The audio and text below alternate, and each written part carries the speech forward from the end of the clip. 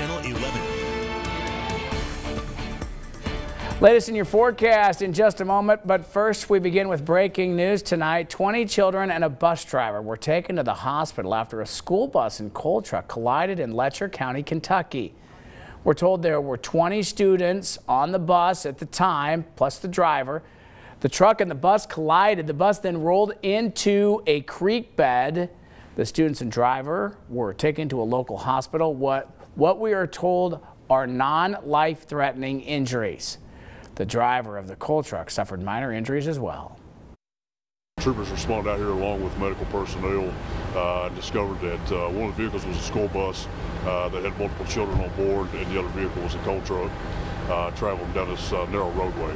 Uh, it, it, appears at this time that two collided, Uh, causing the school bus to go over a small embankment, uh, coming to rest in a creek bed.